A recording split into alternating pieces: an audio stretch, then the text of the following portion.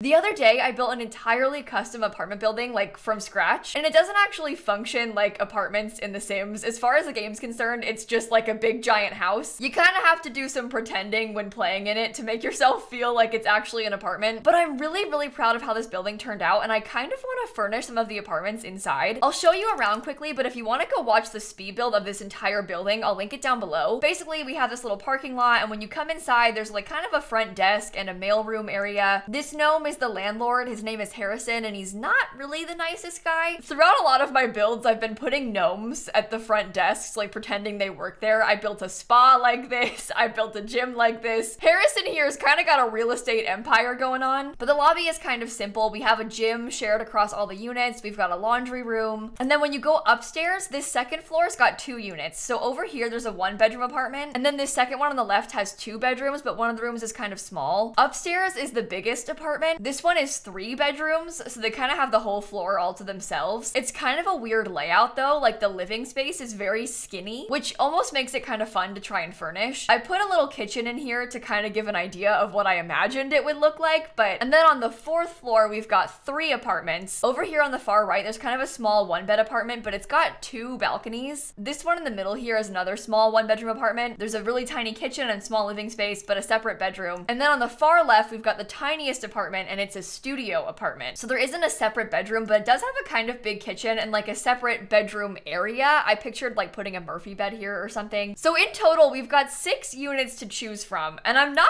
entirely sure which one I feel like furnishing right now. I'd kind of like to do all of them at some point. I honestly feel a bit tempted to start off with the studio apartment because I really like the shape of it and it also has a huge balcony. Not as huge as this one that has two balconies, but it does have a kind of decent amount of space. You know what? Let's start here. I'm deciding now I'm gonna get rid of the whole kitchen because I might redo it. I also painted the whole place yellow because I tried to separate each of the apartments with a color scheme just so that when you download the lot and look at it, it's obvious like, oh, these green rooms are one apartment. These blue rooms are one apartment. So this, you know, yellow room was one apartment. We also have a really, really tiny bathroom, so I might try and make the most out of that space too. Luckily, we don't need to include laundry or any gym equipment because the building has it. I think I'll start with the bedroom though, because I kind of designed this entire place with the thought of using a Murphy bed in here. I don't know what the bed looks like when the Murphy bed is down. Do I need to bring a sim here? This place is a little bit expensive. The building is 175,000 simoleons and there's not even any furniture inside. That's okay. I need a test sim. I don't know how easily you could play here without cheats.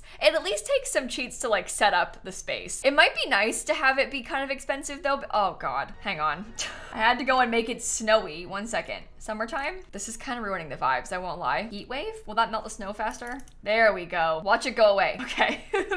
Problem solved. Ooh, okay. I don't love that swatch of the bed. I don't really love any of the swatches of the beds. It's partially because of the wood colors, I think. I don't really like that orangey wood. Maybe this one could be cool because it's got like some orange and purple in it. I don't know if I can scoot this back into the wall very far, but maybe a tiny bit would be nice. Obviously also keeping in mind that when this bed is down, you won't be able to go outside, but that's okay. That's kind of the whole point of the Murphy bed is that we're using it because it works in a small space. And when you're not using it, you can put it up. I would like to use a rug, but I'm not really sure about a lot of the colors that we have. Orange and purple is an interesting color scheme. I hate orange. I keep making orange things in videos. I hate orange. I honestly think that orange is my least favorite color, like ever. Let's just embrace it though. Why not? Let's get an orange rug. Oh, you know what? Then we could probably try and do this fuzzy rug combo. These are snowy escape rugs. That's a little bit of purple. You know, this is definitely an odd color scheme. I've not really done anything like this before. Maybe for good reason. Give me a chance though, because I really am gonna try to make it look good. It looks really nice on this dresser, but like the swatches are better. This orange is the kind of orange I don't love. We do have some purple, but I don't know if I can bring myself to use like a full purple wall. I think I'll just paint everything white to start, and then we can try and get some accents, like maybe some texture. Is the game trying to call that purple? I would say that's white personally, but sure.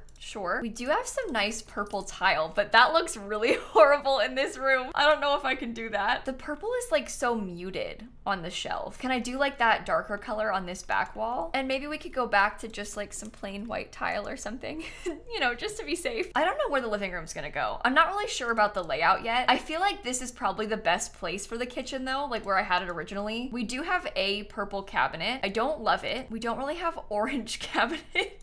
Maybe I should just try and use like a wood tone. I mean, this is what we had originally. Should I just go back to the original cabinets? I know I deleted them, but like I did put it there for a reason. Past Simsie did think that it looked good. I guess when we actually furnish the other apartments, we could do a different kitchen so they aren't all the same. But I'll let myself have this one in here. Oh my god, I kind of forgot how expensive these appliances are. That's half the reason the building is so expensive because I've got ridiculous appliances. There is a trash chute like right here in the hallway, so I don't know if we need to have a trash can. That's probably a ridiculous thing to say and I should just like give them a trash can, but there is a trash chute right there. Maybe I'll use this little spot for like a built-in bookshelf. There's also so many windows in here that I'm not really sure where I should put the TV. We don't have a lot of wall space. Oh no, I think that this purple thing is a bad idea. the more I try and place objects, the more I'm like, you know, maybe there's a reason that we, oh wait, oh my God, duh, Tiny Living has the perfect couch. Sorry, false alarm, we're good. This couch is perfect. Honestly, there couldn't be anything better. We couldn't get better than that. I'm sorry I'm sitting here acting shocked. Like, of course Tiny Living has got a good couch. It's almost like the stuff in the pack will match each other. Although, although, oftentimes it doesn't.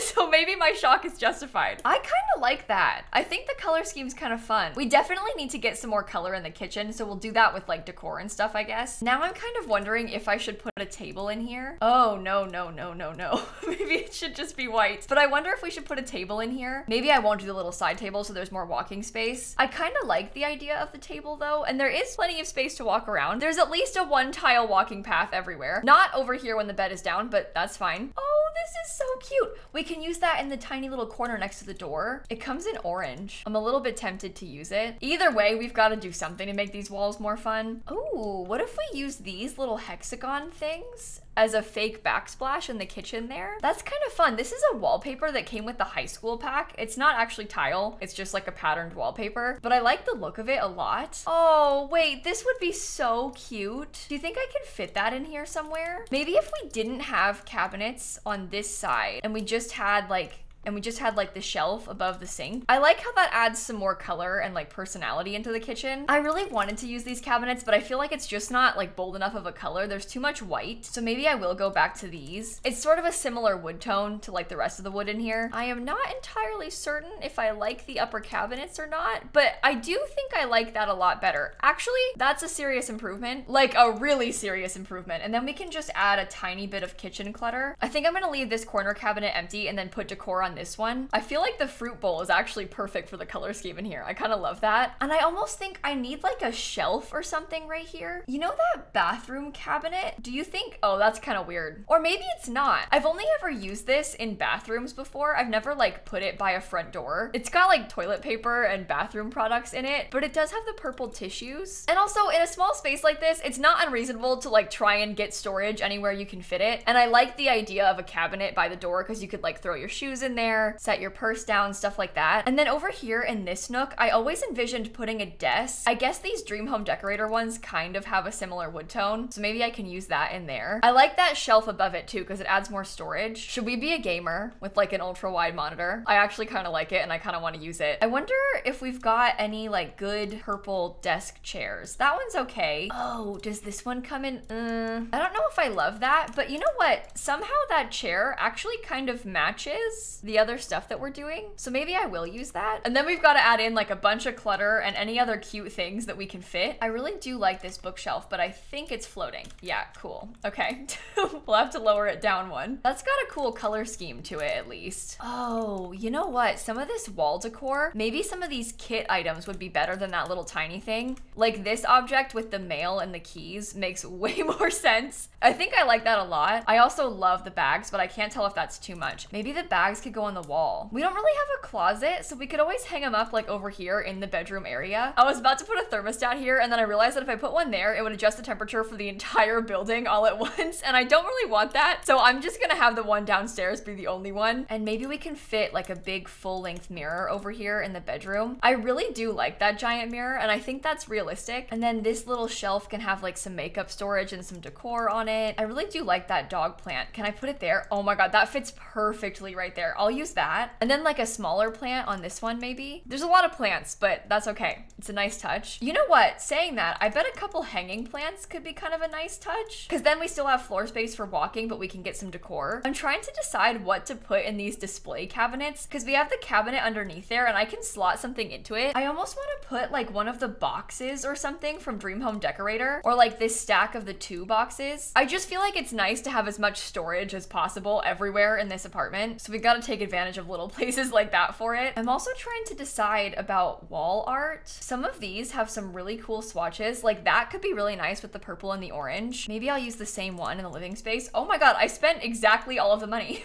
we have zero simoleons left. Again, it's not a budget apartment, but what a weird thing. I spent exactly enough to use all of it up. I don't think I want to put any curtains because I kind of like it being so bright and open. We do have to figure out something in the bathrooms. There is like an orange tile. I don't know if it's too much or not, but if I'm being honest, I actually kind of like it. I know it's a little bit weird. The door doesn't really match that well either, but maybe we can still try. I'm really hoping that when we finish all of the apartments, they're gonna be really obviously different. So I don't want to just use like some plain white tile because that's gonna match this apartment too well. Oh, there is a sink from Tiny Living and it's got some purple on it. I wish this mirror was like slightly lower. I don't really understand why they hung it up so high. I'd use this one, but I think this might be a little bit too wide. Although it's probably fine to have like a slightly too big mirror. If anything, it's a little bit more practical, so it's okay. Okay, I will say this tile is a little bit much.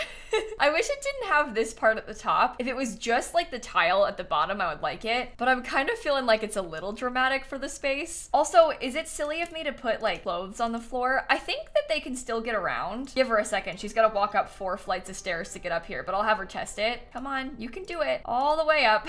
yeah, I think she can still get in there just fine. Oh, she put the bed down. Can you use the toilet? Yeah. Can you shower? I think the bed looks okay in here. Oh, I don't think she can get to the shower. Is it because of my clothes? If I scoot them, can you get to the shower? No. If I scoot them even further, can you get to the shower? No. okay, let me just get rid of it. It was worth a shot, but it's not practical. Okay, we also have this really cute item from Tiny Living. I think I would like to use this in here, but I think I have to change the tile. I don't know. Is it too much? I think it's not too much in the context of the whole space, but I really don't like the trim at the top. Maybe I'll let it sit there for a second and come back to it. I'll furnish the patio first. I'm kind of feeling like this sim is pretty into plants, so I might give them a few planter boxes over here, and then maybe I'll fill them in myself with little plants and kind of pretend that they're growing them or something. I think that's kind of a nice touch. Then maybe we could get a little patio table. Ooh, I like this plant. There's no free wall space. Okay, never mind. I can't put it in here. I want to use a patio table, but I'd like for us to kind of continue the color scheme out here. Oh, those chairs are so cute. Okay, so we can do that. Little candle on the table, maybe. I'm trying to decide what I think the Sims hobbies are. Maybe they're interested in like painting or something, so we could get an easel. It's probably not very smart to store your canvases outside. Like that's maybe a bad idea.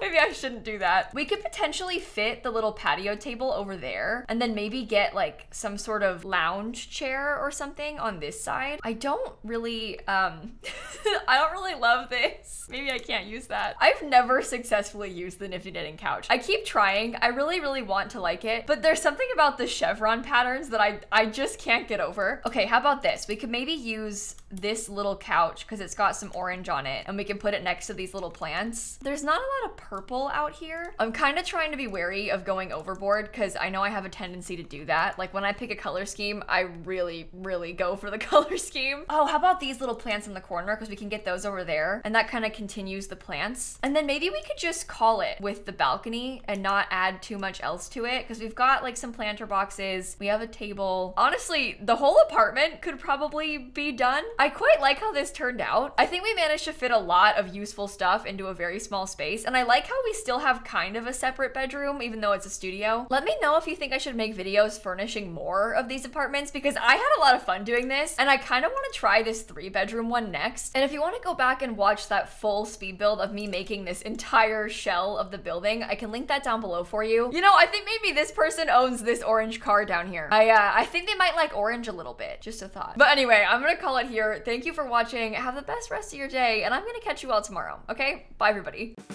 You know, if you don't like EA's apartments, why not just make our own? They might not function right, and it takes a lot of pretending, but it is fun.